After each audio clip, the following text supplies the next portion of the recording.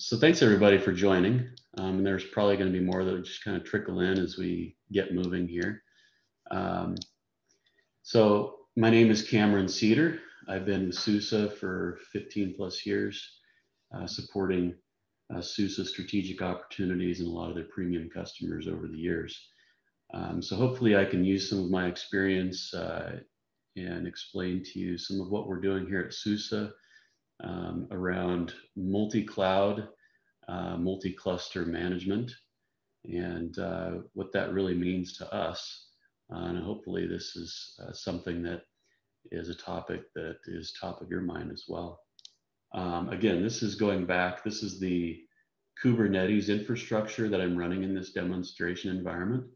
Uh, it's called CaaS platform or container as a service platform. Um, so again, uh, three master nodes, three worker nodes for the cluster.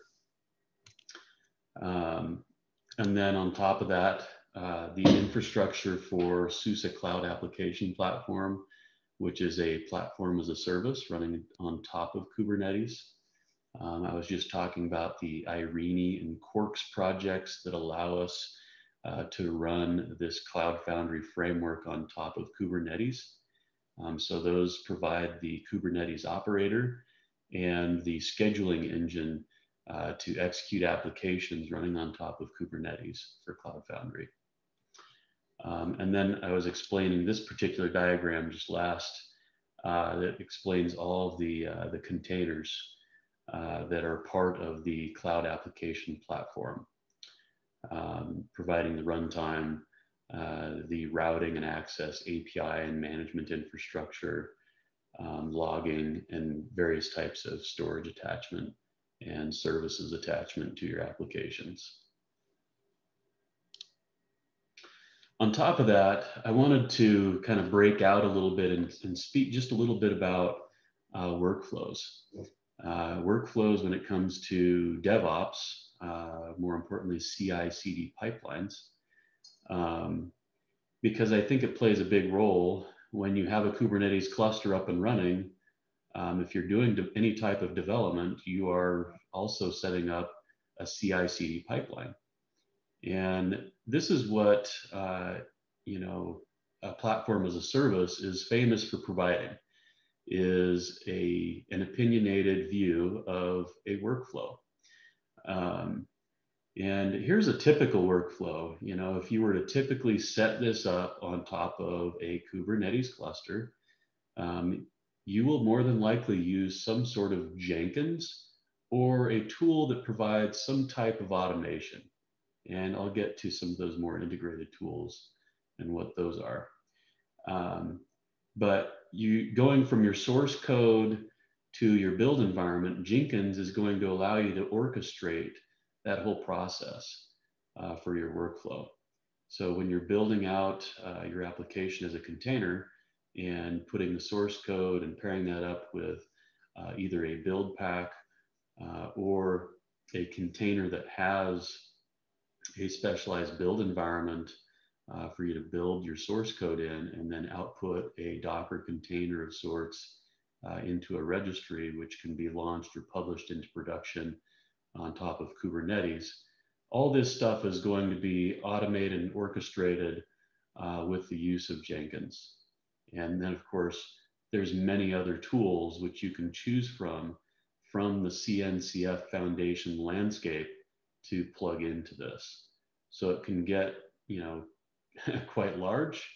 Um, there's lots of maintenance that goes on here when you're when you are maintaining workflow um, because there are several different pieces and parts uh, to this particular workflow. But it's all part of the development process. And uh, this is uh, not much different than uh, you know any Java development uh, from times past, which still happen today. Um, we've you know gone through the process of simplifying Java development and you know putting Java into WAR files and and launching those and and you know making it easy. Um, not much different right? We're just doing this with more languages now and uh, creating these workflows to handle multiple languages. But once you add a platform as a service to this infrastructure, it becomes a little bit more opinionated. Um, you have uh, this extended workflow um, that connects directly into this, what we call a black box, um, because it's doing some magic behind the scenes that you really don't see what's going on, or you don't really understand or know what's going on, uh, maybe from an operator perspective. Uh, from a developer, you expect the platform to do as you tell it to do um, and uh, just spit out my application to run. Um, that's what you want it to do with this black box. Inside this black box on a typical platform as a service, there's lots of things going on. Um, for Cloud Foundry, um, this is a typical, you know, workflow of what's going on inside of um, KubeCF or Kubernetes Cloud Foundry. And uh, as you can see, there is lots of things going on.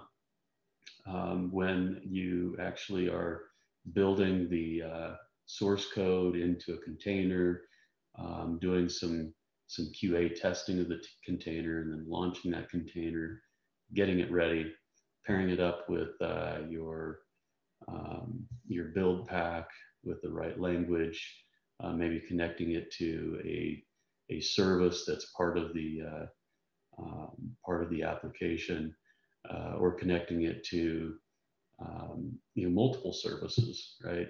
You could have applications that are much larger in size than you know single uh, or multiple pods on kubernetes. You know the way that kubernetes sets things up today is uh, they're not necessarily an application form. Um, there's multiple pods and multiple pods can form a single application. And any one pod could have you know a dozen to maybe one container running in it. Um, and so a, a single application um, in you know in application speak um, it could be multiple pods. And one application could consist of 15 to 50 different containers all working together for a single application. Um, and so in the context of deploying applications and managing applications um, in a platform as a service, that's why this becomes very, very important because you can manage things uh, much more efficiently and easier from an application point of view. And some of these more opinionated uh, integration points from a CI CD system that are much more native to Kubernetes are things like Tekton, um, Drone or Argo, Jenkins X is extremely popular. Uh, these all, all these platforms that you see here provide a much more native uh, CI/CD um, pipeline uh, that runs directly on Kubernetes. Um, and you don't have to make any guesswork about what other things might get connected to it, like Jenkins and other things. Um, it has its own built-in orchestration and automation uh, that is provided. Well, what if I want to um, take these and plug that directly into a platform as a service? And this is where SUSE is spending uh, some time working on um, how this all works and is fit together. Um, we're working on some deeper integration here um, between CI CD platforms and platform as a service and how they can complement each other. Um, so whether it's using Tekton, whether it's using Jenkins X for your build test and packaging, um, more than likely you'll want to uh, send that over to Cloud Foundry to package that up as an application and, and uh, deliver that on top of uh, your Kubernetes infrastructure.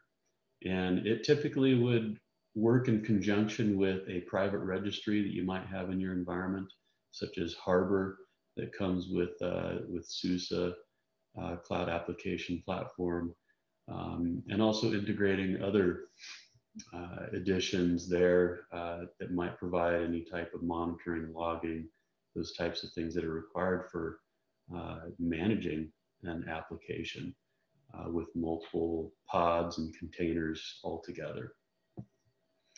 Um, so SUSE is spending a lot of time doing this type of work and figuring out what the, the best or opinionated view might be out there. Um, and more than likely plugging in directly to, to Cloud Foundry uh, with your own opinionated view, whether it's Tekton or Jenkins X or something you've already built, um, that's fine um, you can plug those in uh, directly to Cloud Foundry uh, today. So also building out a richer management experience when it comes to uh, managing both Kubernetes, the underlying layer, and also the platform on top, uh, whether that's Cloud Foundry and all of the other uh, workflow pieces that we just talked about. Um, you know, SUSE is working on building out a better management experience using uh, what's called the Stratos console, which comes with both our container as a service platform and our cloud application platform. And for Kubernetes, uh, we've been able to have the ability to connect up to multiple Kubernetes endpoints. Uh, so you could be managing one cluster, or you can be managing five or more clusters from a single Stratos um, management platform. And we can authenticate to, you know, Azure, AWS, Google, um, SUSE CaaS platform, and other Kubernetes distributions as well. so the view here is really aimed at trying to best manage a Kubernetes cluster. Uh, it also has an embedded Kubernetes dashboard, so it comes directly from the upstream, which you can install directly using the Stratos console itself. And it does that by uh, utilizing the Helm chart capabilities within Stratos.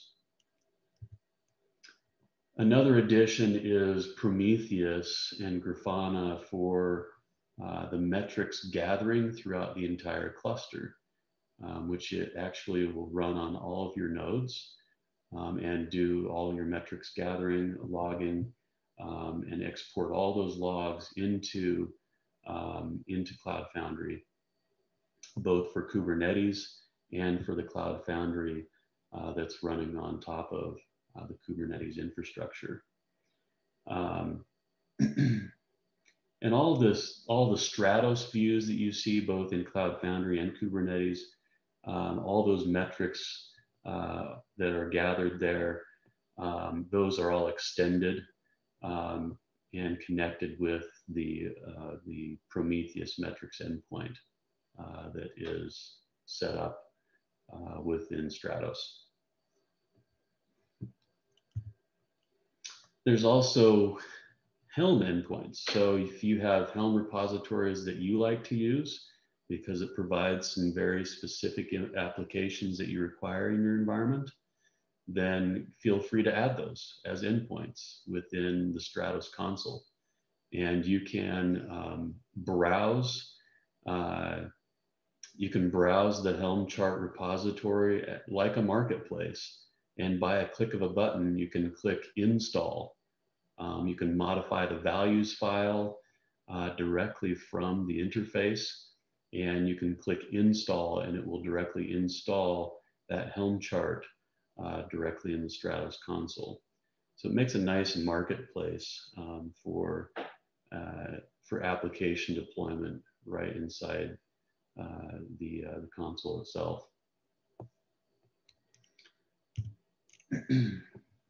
and now I want to shift to showing you um, a little bit of a demonstration here. This here is the Stratos console. I'm just going to log in as administrator. And um, kind of increase the font just a little bit, not too large. The first thing that I want to show you um, is the endpoints. And I just want to show you endpoints because, you know, you'll notice that in this particular setup, I've got multiple endpoints. In fact, I have, I've got Helm chart repositories. I've got a couple of those. Um, one's the Kubernetes charts.suse.com. I've also got a Helm chart repository for eclipse.org. So they have some Helm charts out there for the uh, for Eclipse, uh, like Eclipse Che and some other things, uh, more specifically for um, managing their edge platforms. Um, and then we've got a couple of different uh, uh, SUSE uh, cloud application platform environments. I've got one that's the the uh, SUSE Developer Sandbox. If you're not familiar with that, um, I certainly urge you to go out to explore.suse.dev and uh, check out that URL. Um, and uh, you can get access to your own um, sandbox environment to do, do your own development in. I, I believe it gives you about 10 gigabytes of, of memory it has some limited resources, but it gives you a nice idea of how this system actually works. Uh, we also provide you with some sample applications you can play around with, or you can develop your own. Uh, put your own uh, Java code in there or whatever it is, Ruby, Python, whatever you like to program in, drop your own code in there and, and run it. Um, and see how you like the environment. Um, it's really powerful to use. Um, there's also uh, a connection to the Kubernetes environment that's attached here uh, on susedojo.com. And then I also have Prometheus. I don't think Prometheus is working properly with this little um, warning sign there. Um, but not to worry, that's okay. Uh, we'll still be able to show you uh, some really cool stuff.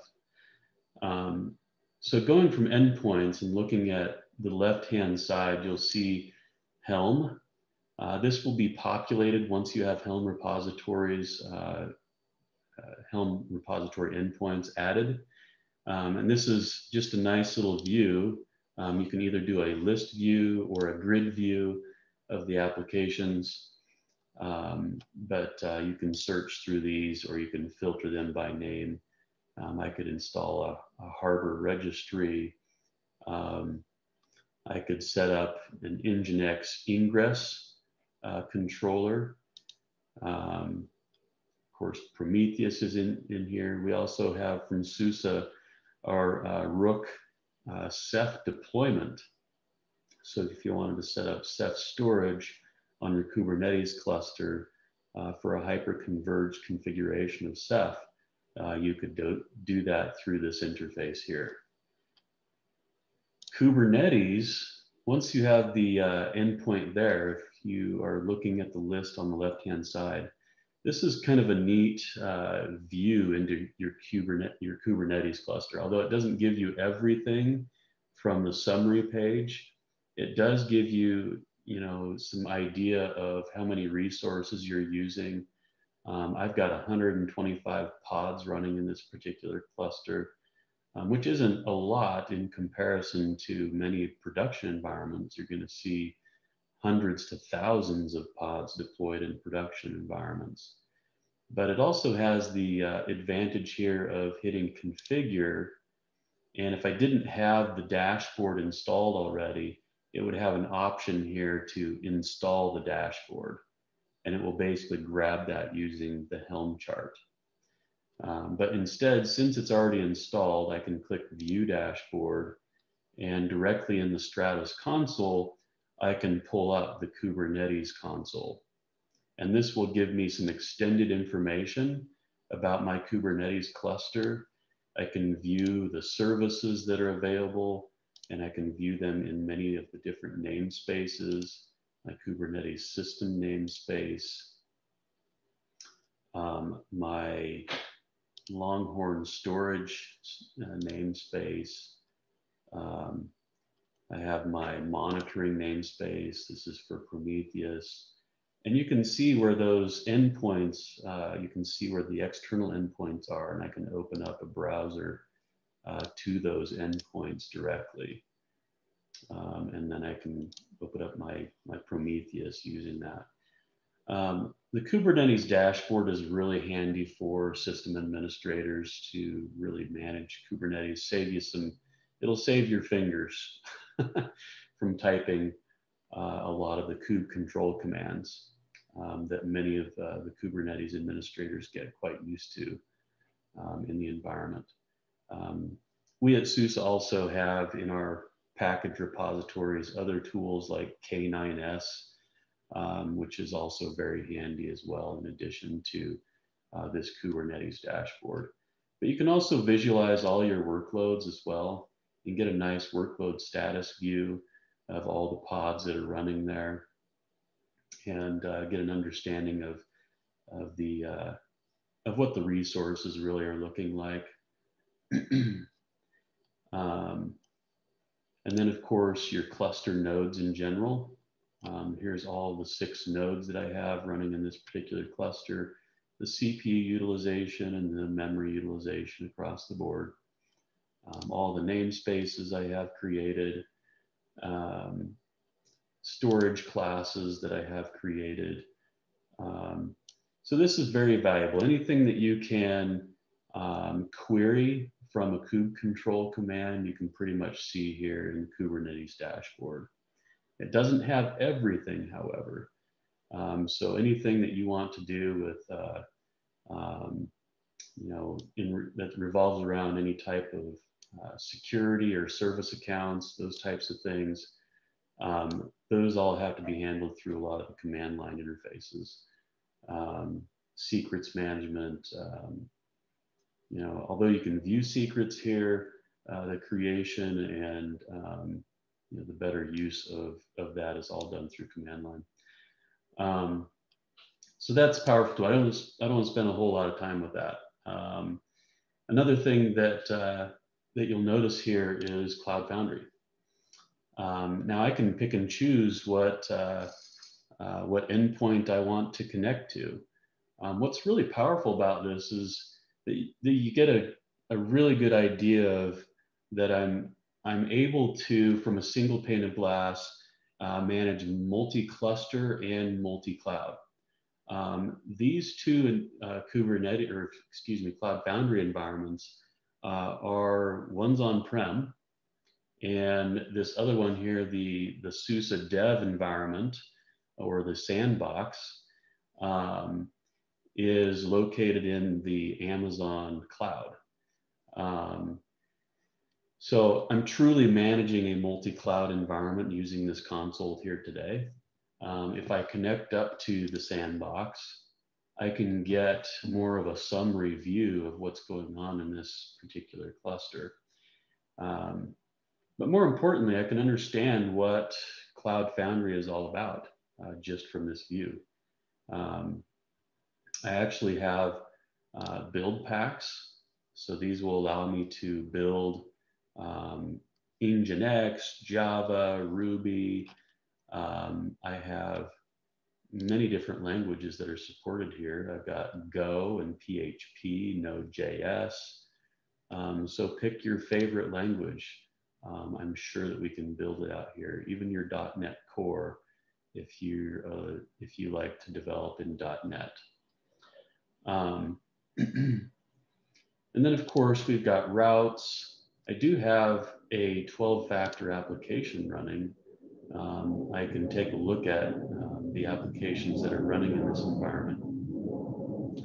Um, you'll notice the one at the bottom here where it says 12-factor or I can go to the very top on the left-hand side and click applications. And this will give me an overall view of every one of my. So in conjunction together, and I can do filters. So if I don't want to view all endpoints and all applications across all endpoints, then I can change that to just viewing the dev sandbox and it will show me all applications that are running in the, in the dev sandbox. Um, or I can look at my on-prem deployment and view the applications that are running there. Um, so it gives you a nice ability ability to filter out and and um, see multiple endpoints together uh, if you're managing uh, multi-cluster uh, or multi-cloud together in in uh, the Stratos console. Um, so that scales pretty well um, as far as it as its uh, management goes. Um, let's take a look at an application because that's kind of the fun part about this is actually deploying applications and just seeing how easy it is to launch an application in this environment. Um, I'm going to look more specifically at the, uh, the dev sandbox. I'm going to look at this 12 factor application. And I picked this one because this actually uh, ties with a uh, Redis database. Um, there's nothing really that special with this particular application, um, but uh, it does bind itself to a Redis database. Now, if I want to see um, those services running, um, I can click on services on the left, and you'll notice I've got multiple services here. I've got a RabbitMQ, PostgreSQL, MariaDB, um, and Redis what's really nice about uh, the services within Cloud Foundry is that you can create these services um, that are running on top of Kubernetes, um, but you can bind these services to your application so that uh, when you are writing your code, you can directly write that code to this common service API and get access to the service no matter if it's a, you know, some type of a SQL database or a messaging queue or Redis, uh, and there's many others that you can choose from. Um, so you would notice that this Redis one actually has an application that's attached to it. And you can have more than one application attached to a service. Um, you could have a dozen or more, right? Um, you can scale this out quite large. But the application that's actually attached to this think this is actually, yeah, I could unbind it if I wanted to. Um, the application that's tied to this is the 12 factor application. and if I wanted to, I could completely restage or I could stop. Let's go ahead and just stop this application. It's now offline. Um, I can restage this application. Let's go ahead and restage it. What that will do is um, it will go through the complete build process of the application itself. Um, and uh, so let's go ahead and show that. Uh, it's actually started up, the restaging. Um, let's see if it will show the staging process.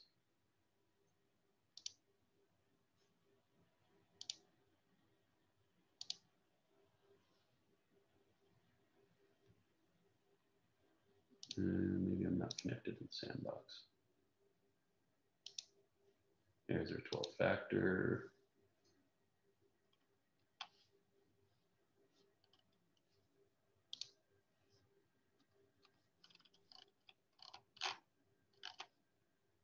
And yeah, so you can see in our staging here through the log stream that uh, you'll notice through the log stream, it's doing our staging. It's actually running the install of these particular um, uh, libraries and things required to run this 12 factor application. And then it's going to actually um, create a container here. It's using the Diego cell um, in order to do, do some, uh, some testing of the application, um, destroying and creating that container. I'm sorry to interrupt. Um, it's now 2:05 Eastern. We have about 10 minutes um, remaining. So if you want to start the Q and A now, you certainly can. Or if you just like to continue the presentation, um, feel free. Um, we do have one raised hand in the audience. I'm not sure if this person has a question or if they were just um, one of the people nice enough to help us out with the uh, display issue. Um, so if you have any questions, please type them into the chat window or the Q&A window. and uh, Cameron will get to them as he uh, as he has time.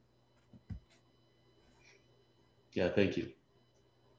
Um, any questions up to this point uh, on the demonstration and kind of what you've seen here today? Um, is this something that's useful for you all?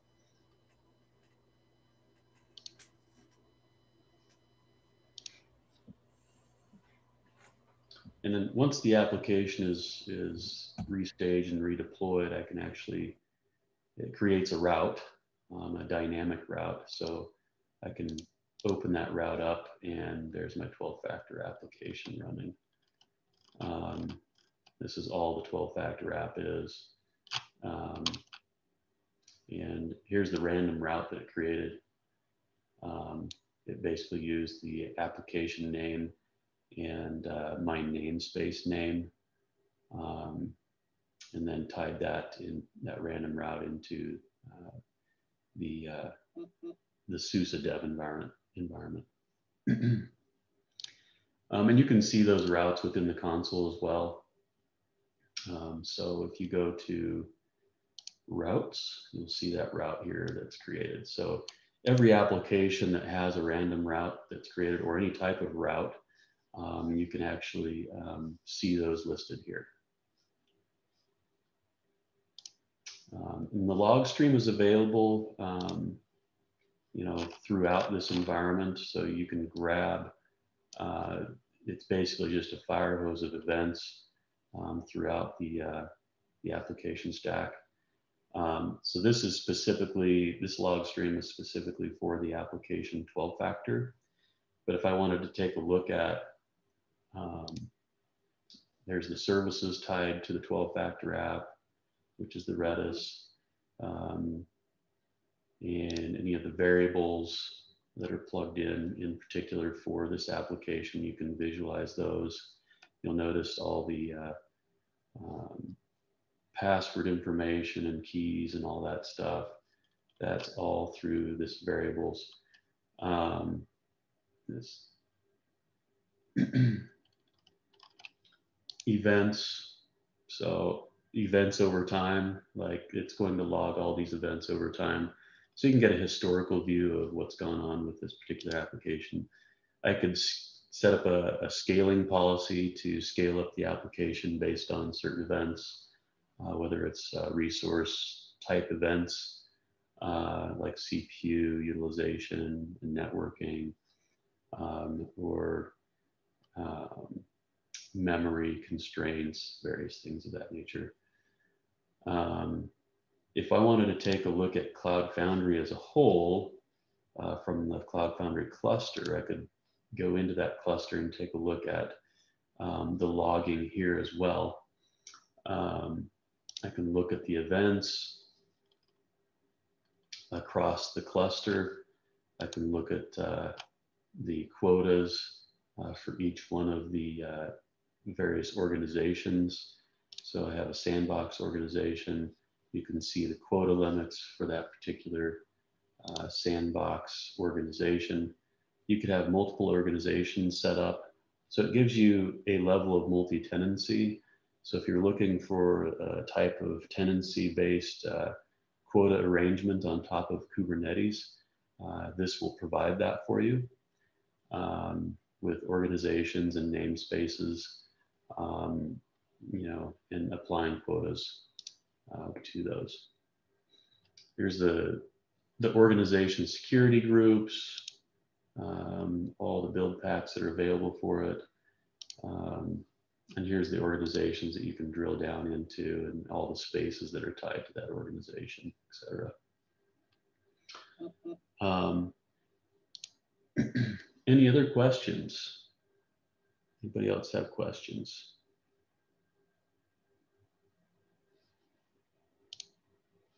Let's go we have about five minutes remaining, so if there are no questions, um, feel free yeah. to use the rest of the time for uh, general discussions or any other comments that you would like to make.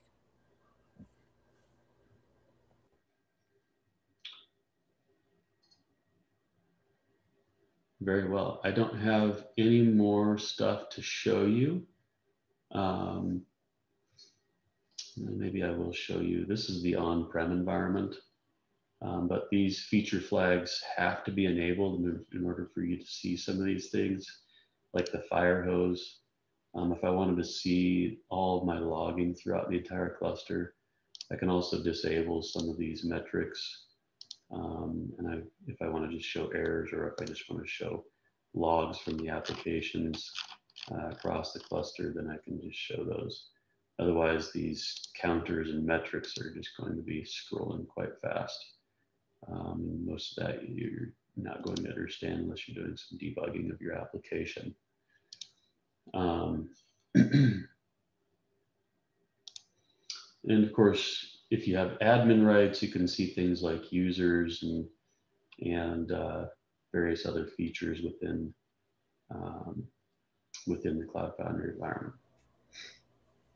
We do have a question in the Q&A window, um, probably the last one we have time for. Okay. Uh, can Cloud Foundry be deployed in a container? Can Cloud Foundry be deployed in a container? In a single yeah, in container, no. Um, now, of course, there are ways of, um, in, in, our current deployment, uh, yesterday version 2.1 came out and it is it is slick. Um, I was able to install it in about 12 minutes. Um, so you can have a full Cloud Foundry environment, a default setup in 12 minutes running on top of Kubernetes. Um, that's pretty fast. It used to take about 25 minutes to a half an hour. Um, and so 12 minutes is quick. Um, it has um, there's probably more than two dozen, uh, maybe three dozen containers um, because there are a lot of components working together. So putting it into a single container, that's not going to work with uh, the Cloud Foundry environment.